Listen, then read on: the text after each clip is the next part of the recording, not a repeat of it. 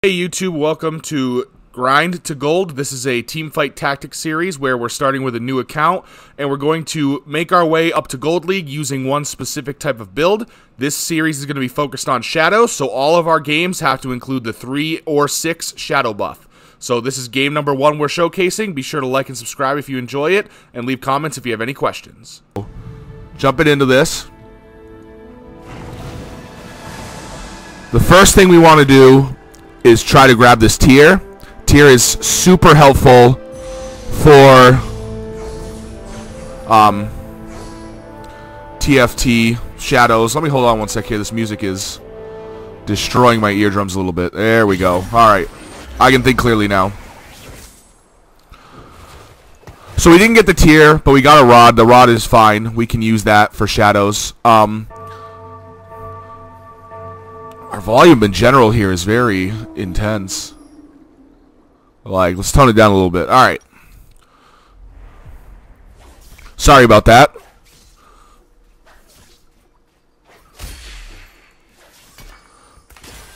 Alright, so we got a tear. That's really nice. Like I said, Shadow really, really likes tear. Tear items for its champs. So the more tears we get, the better. The nice thing about picking our build right out the gate is we know what we're going to need and what we're not going to need. So I'm going to sell this Yasuo and buy out this board. Anything here could be um, relatively useful. I think I'm just going to start with any any two champs on the board. But because we know we're going shadows, we know what champions are not going to be useful at all to us all these champs, believe it or not, could fit into our build somewhere, depending on what we end up getting. But not all champions will. Sometimes, so things like predators don't tend to fit very well into um, shadows necessarily. Um, I'm going to turn down the volume just a little more here. It's still a little intense. Maybe it doesn't sound as loud for you guys. Doesn't really matter who it throws on the board. So yeah, all of these things can kind of fit into a shadow build. If we or at least build into getting us a shadow build. So we are building shadows, but to get the three shadow synergy, we have to get a little farther into the game. We need um, a, a couple of three star or three level champs, and we need to be higher level for those to start popping up. So I think what I'm going to do here, let's see. We're going to start doing some process of elimination. We're going to put Druid on the board for now. Druid's pretty powerful early game. Um, they're all level 1, so that's, you know, not super helpful, but we'll either win or we won't. The early game, um, as far as early game goes, it's okay to lose. I think people get really frustrated early on if they start to get into a loss streak, and that's really not that big a deal. You're not going to lose a ton of health in the early game as long as you don't lose by a horrid amount. And it's easy enough to come back from it. And I honestly, in a lot of games, I like to lose these first three player rounds if I if I can do so without losing too much health. And the reason for that is because when we get to the carousel, I'll be on the lower end of ever, of the health pool, and what that means is that I get to pick my item first, and that's that's pretty helpful in all honesty. We just got a silver Ivern, so that's nice. Um, we need to start making some decisions here. I definitely need this um, Malzahar. I don't think I'm going to need Vayne, so we'll switch that out. I don't think I'll need Nasus. This is a waste of my time. I could get Cuddle Bear for early electric, maybe. But I don't necessarily want to get rid of anyone that's here at the moment.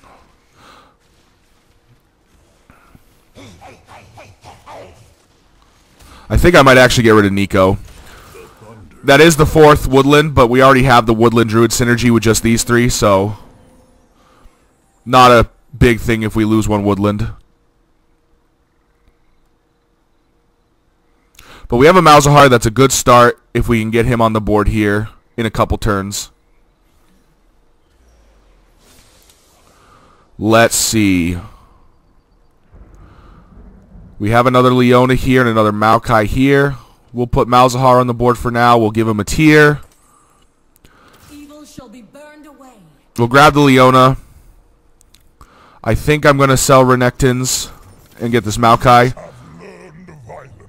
Renekton um, and the Desert Synergy in general can work into the Shadow build, but I think since we have this kind of woodland thing going on here, it makes more sense to follow that for the early game, and this Neeko is back again.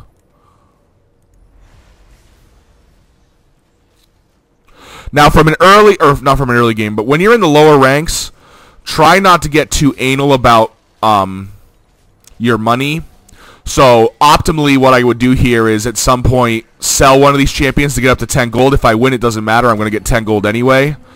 Um, but some people will kind of get really bogged down about, oh, I got to make sure I hit my interest levels exactly when they're um, available.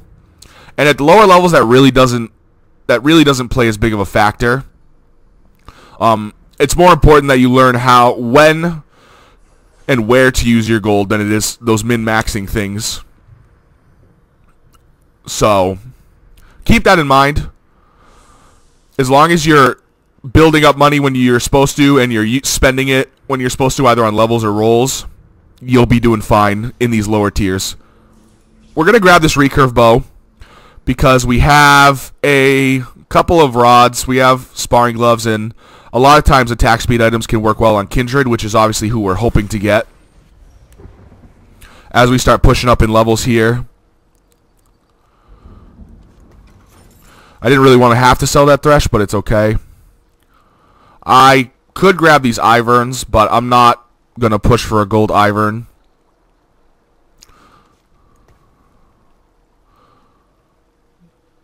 I'd rather have Neeko than LeBlanc, I think. Not a huge change out, just... She gets the Druid buff, whereas LeBlanc doesn't, so...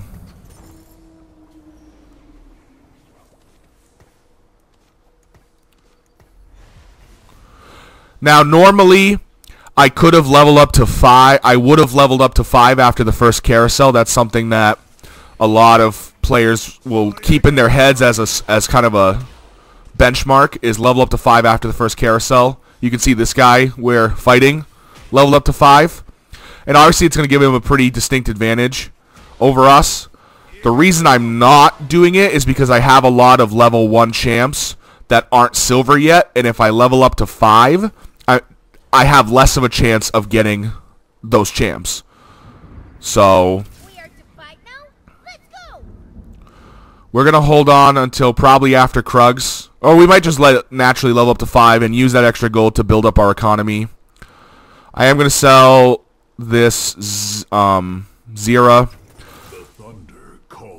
That might seem a little silly because Zyra works really well in shadow builds, but we're not getting the other two, so or we're not I'm not seeing the other two popping up a lot and I don't want to hold up anything. We have what I call a really good poker hand and I just say that because we have a lot of pairs. We have two Leonas, two Ornns, two Volibears, two Maokais, two Neekos.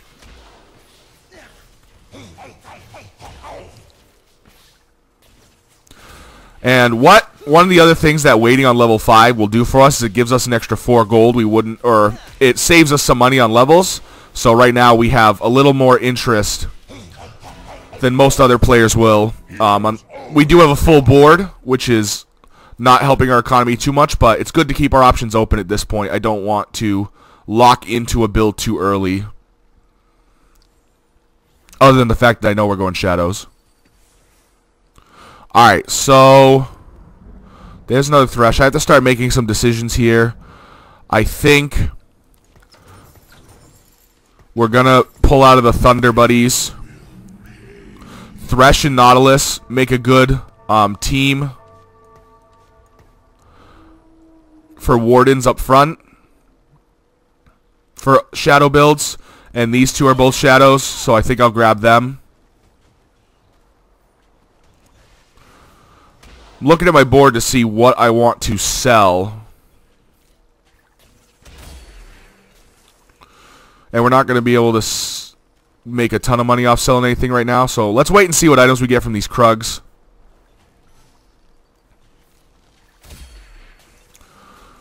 Okay, so we got 27 gold, so I will sack these two for the 30 gold. Like I said, doing that, not necessarily something you need to worry about at the lower ranks.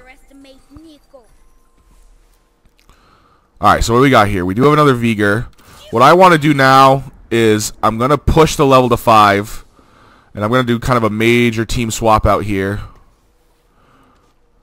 Um, put you on the board and put you on the board. So this is going to give us two Wardens and three Shadows. So we have a little bit of defense. We have quite a bit. Um, we have the three Shadow buff. Now, all of our guys are tier 1s, so we're not going to be winning any major battles right away. But as these champs start to get, we start to get their silver versions, we'll be doing a little better. And even now, we're not doing terrible. I mean, I don't think we're going to win this fight, but... The cost of your life is one arrow. So for now, we're just going to keep sitting back, keep economying up to 50. We're at a loss streak of 3. Our next loss streak will give us an extra gold per turn.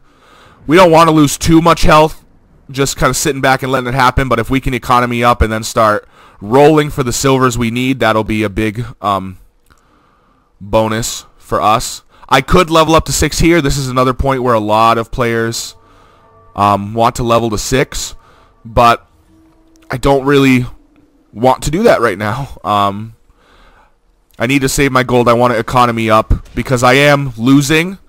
So right now leveling doesn't seem like the greatest idea. I need to really focus on getting to 50 gold or above 50 gold, which is where your interest will max out. And then I need to start rolling down a little bit to start picking up these champs in their level 2 forms. Mundo too strong for you.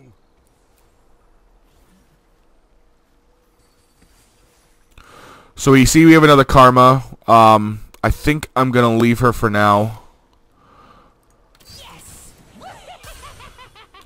We have a Silver Veigar now, so that's a start. And this is really what we're kind of going to do. We're just going to chill here and push. Every time we have over 50 gold, we'll push some more champs out. We are in last place right now, which is kind of, I don't want to say nice, but it allows, looking at the bright side, it allows us to pick our item first at the carousel. Obviously, that depends on whether we win or lose this. This guy's got five silvers, so I'll, we'll see what happens.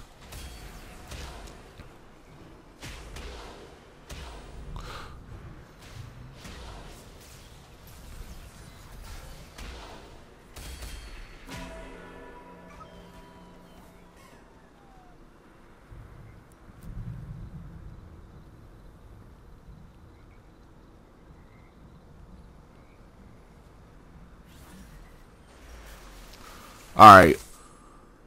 So we get to go first. Um, I am going to actually go for this BF sword. And the reason for that is A, Kha'Zix sells for more than Kog'Maw does. But also, I can use this sword on the Malzahar with the tear and make Spear of Shojin, which is a really nice item on Malzahar. That will make him a little more carry heavy, especially since we still don't have a Kindred yet.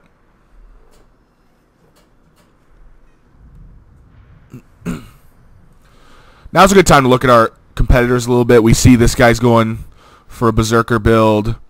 We have a Nocturne style build. This guy's also going Shadows, and he seems to have a little more um, ironed out than we do. Predators, Berserkers, Woodland, and Ocean Mage of some variety. Uh, it's like a Ranger Warden build. There's a Silver Senna. I if I was playing lights, that would be nice. So one of the problems right now is that a lot of people are getting Kindred and going for Kindred, and Kindred is primarily considered the better carry for Shadows. We're not going to worry too much about that right this minute. We can always focus on carrying with a different champ. Yeah, see, they've got a Silver Kindred. I know there's another team that has a silver kindred. So I think getting a kindred is going to be a little difficult. Yes.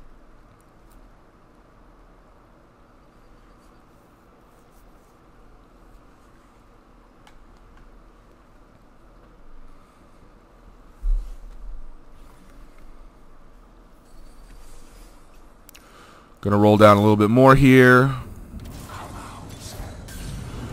Alright, we did just get a Kindred. I don't really want to replace the Senna. So we're going to do this. This is going to seem a little silly, but...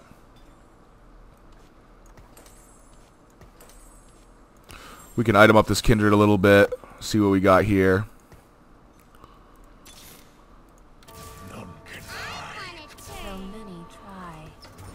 I'm going to get rid of my Lunar. I don't think Lunar... Um, I don't have a Silver Leona. A lot of people have Silver Leonas right now. So our build is starting to flesh out a little bit here. It's slow and steady, obviously, because we are a little late to getting Kindreds, but that doesn't mean all that much in the grand scheme of things. We are against a very heavy Warden build, Warden and Ranger, so that one didn't go super great.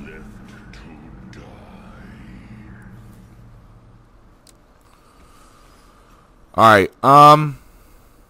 Sion's not a bad choice.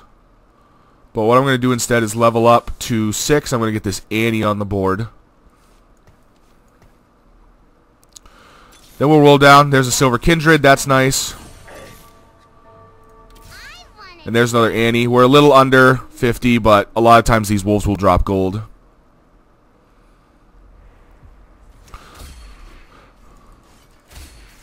The nice thing about being in a losing streak like this is that you're getting a lot of gold from this loss streak as well.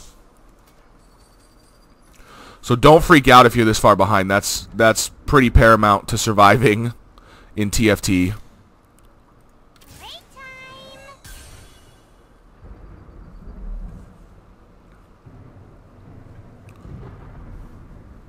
I would like to replace this Senna with something else, but we'll see what we get.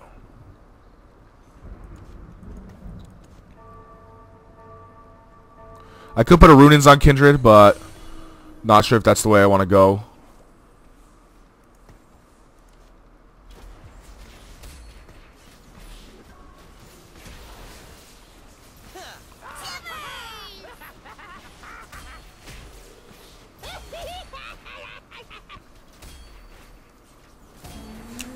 There's our first victory in a little bit. That's good. Now, our goal is always to try to get top four. A lot of players, when they play ranked, they're like, oh man, I got to get first place. Um, I got to get second place, which obviously is what you want to do, but make top four your goal. Because if you try to shoot too far, um, you're going to make bad decisions. I'm going to roll down a little bit here um, just to see if maybe I can get this Malzahar to silver. I don't usually go for a gold thresh, but that's pretty uh, that's pretty hard to pass up. Okay, nothing yet. I'm going to hold on to these Malzahars. I'd rather have Malzahar on the board than Senna, but I want him to be silver at least.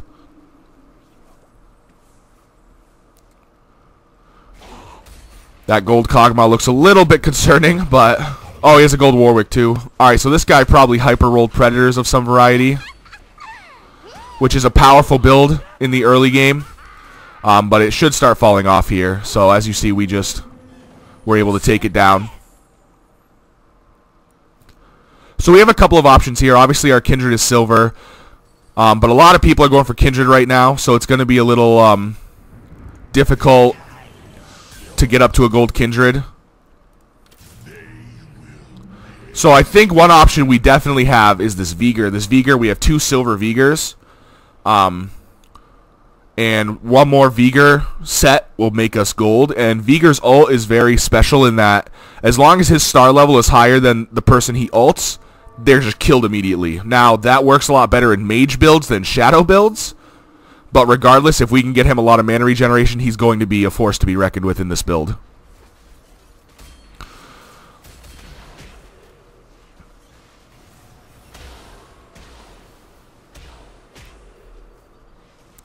So this blender build, definitely going to be a threat.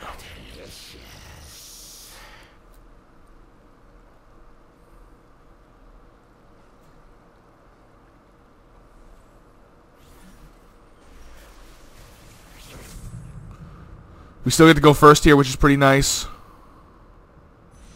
I want to kind of go against the grain here. And we're going to grab this Zed. The Zed sells for 5. It's also a tear, which obviously we want to have.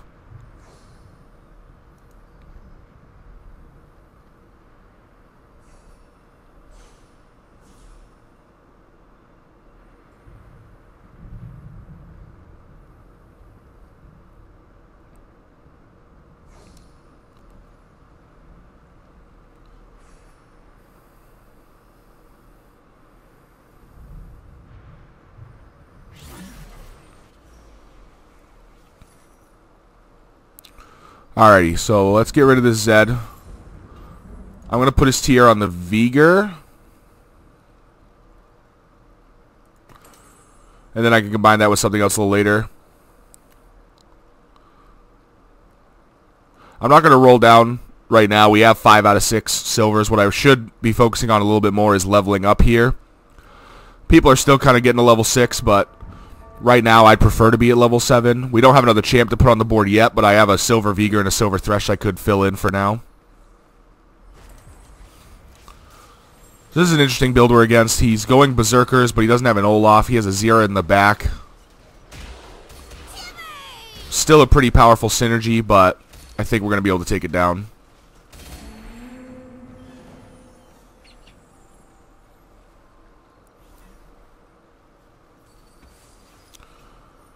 Alright. We'll roll a little bit. There's our Silver Nautilus. I'm going to roll a little bit here to see if I can get one more Veigar or Thresh. I may not, which is... It is what it is. No, we didn't get it. That's okay. That's one of the things you have to be the most careful about when it comes to rolling is that if you roll down and you don't get the champs you need, you just wasted all that gold. And that's a, that's a gamble you have to be willing to make, obviously. But just be mindful of it. A lot of don't don't roll super frequently. It can cause problems. This guy's going for a ranger build, so that's that's pretty painful. I think in general that worked out in our favor more because of positioning than anything, but there's another Malzahar I'm not too worried about trying to get. Oh, maybe I'll grab him. So Raptors, um, hopefully we get some items to load up our champs with. I'd like to get Veigar a couple more mana-heavy items so that when he does get to gold, we can just start ulting like a madman.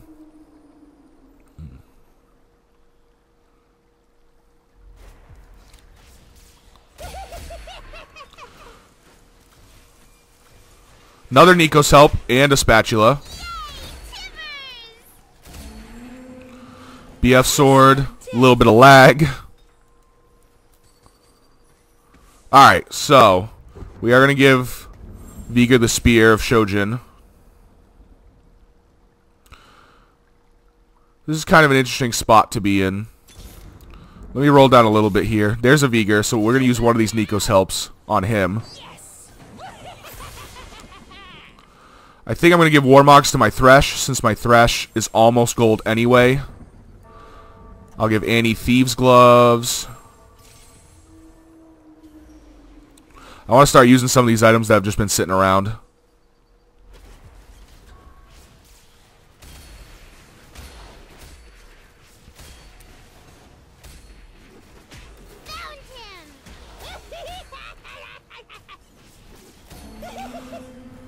So Gold Veigar, definitely pretty powerful. I would like to get two mages on the board to help him out, but it's a little late in the game to be throwing mages out. We are back up to 50. We're only level 6, and that's kind of a pain in the butt. Um, we need to start thinking about getting up to level 7 here. We're running we're running behind on levels. I'm going to pull Kindred off of the blue and just give him or her or whatever kindred is, give him Runaan's Hurricane. That way they have a little more attack speed and they're hitting more champs at once.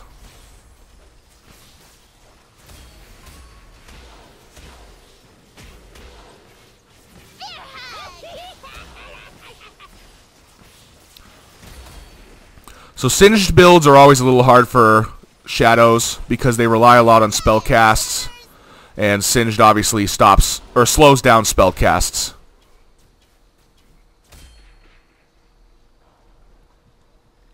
All up to Tibbers here. Hoorah!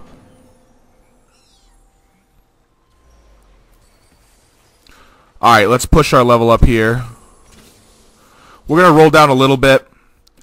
Um, and the reason I want to do that The harvest is upon us. is because we're approaching the part where the final four is going to be decided, and I don't want to save my gold and end up knocked out. The harvest. We have our gold thresh. And you'll see we're grabbing Zyras, and that might seem silly, but the reason I'm grabbing Zyras specifically is because the way our team comp is, Zyra gives us the Inferno buff, it also gives us the 3 Summoner buff. So even though she's a level 1 Zyra at this stage in the game, the synergy she's going to provide us is going to be pretty big. Now Yasuo is one we have to be kind of careful of. Yasuo, when he ults, he will always ult the team member with the most items. It's just death. Nothing serious. So unfortunately that one didn't go too well for us. Blender Nocturne, still a pretty powerful build. We get to go first here. Definitely thinking Rabadon's is the way to go.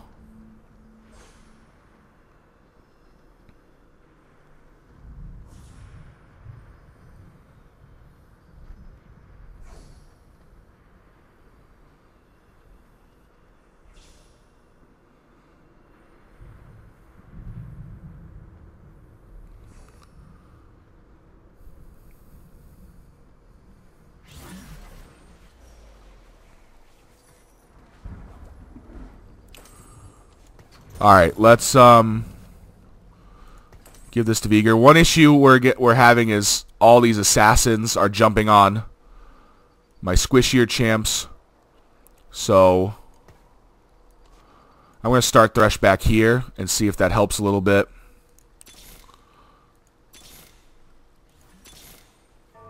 Just going to roll down to 30, see what we get. We can start building up a Kindred maybe.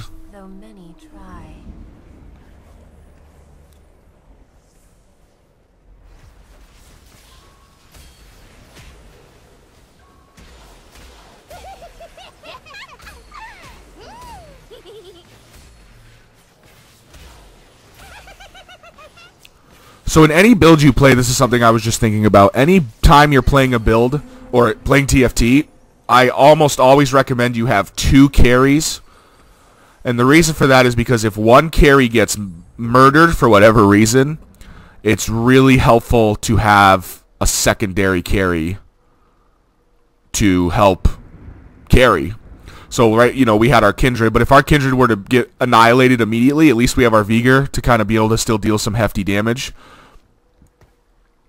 So keep that in mind. At this point, obviously, we want to survive into the final four. We'll see if we can do that. This is the guy with the Predator build. He does have an Olaf now, but it's not itemized and it's level 1. So hopefully we'll be able to make something. We'll be able to pull through on this one.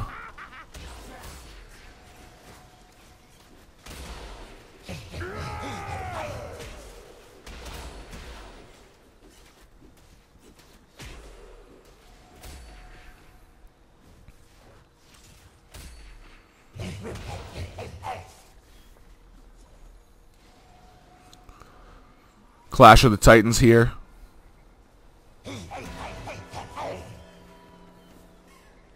One health left, baby.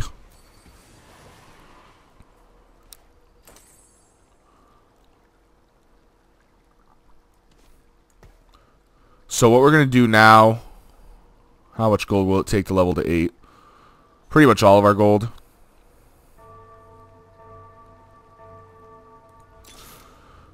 We'll roll down some, just see what we get.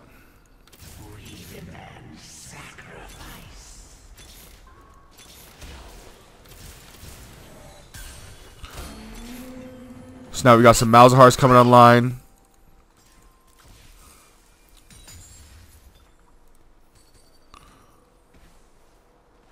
Last Whisper, um, we can put on Thresh, I suppose. If we can get another Malzahar, there he is.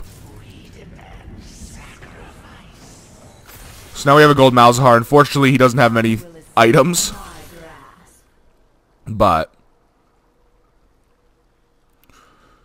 right now, I'd probably like to add more Wardens to my board, but I'd like to see them be level 5, although because we're at level 7, the odds of us getting a level 5 is very, very low. That's a terrifyingly scary Berserker team.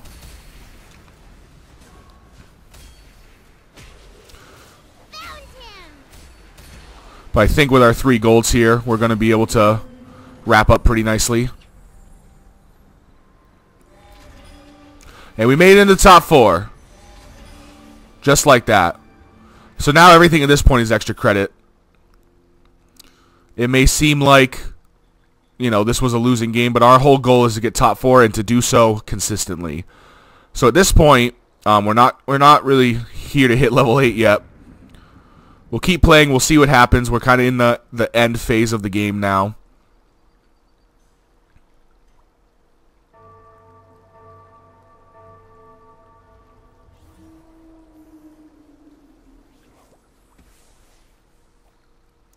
This is that assassin build.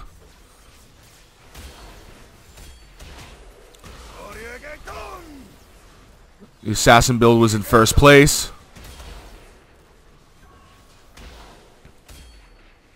And we were able to make it cut.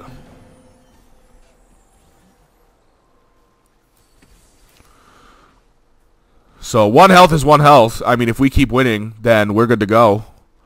What we need to do, though, is keep our advantage. That is paramount. So what we're going to do here is push right up to level 8. See what we can get on the board here. I think...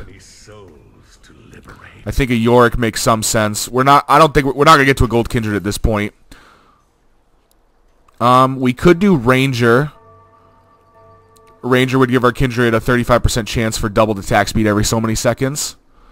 I tend to prefer for Ranger if I'm going to do a Ranger build, though, or anything with Rangers.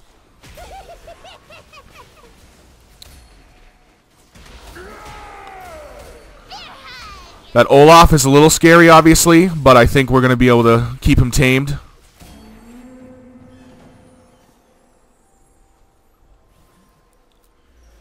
So now it's just me and Berserker Guy. I know exactly what I want. This on my Veigar will be very nice. He's at level 1, 2, 3, 4. He's at level 7 too. Now we're at the last stage of the game. We only have a couple battles left here. So we're going to move some things around here. I'm actually going to keep Yorick back here so when his assassins jump on me, they don't quite murder me as hard.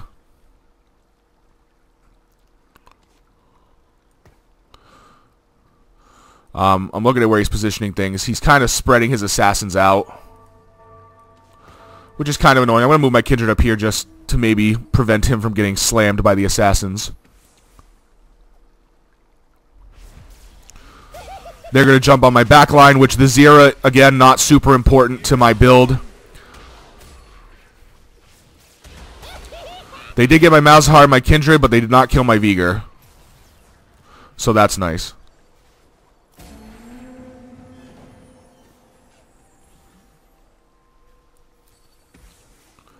So we're kind of in the final stages. I think the best thing for us to do now... I could actually look for a mouse uh, Malphite. Um, I didn't get him. That's okay. What I need to look for now is this guy's positioning. How is he? He's got two guys jumping over here.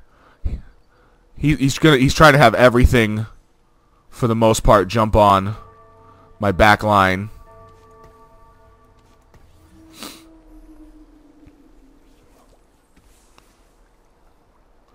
Okay, Kindred and Veigar are the ones we really want alive. And just like that, we have turned this around and gotten ourselves first place. So this is a great example of a situation where even though you're the underdog for the entire game and you're not getting the units you need, you need to just stay calm, play the right way, and get your units on the board as they need to be. If you lose, you lose.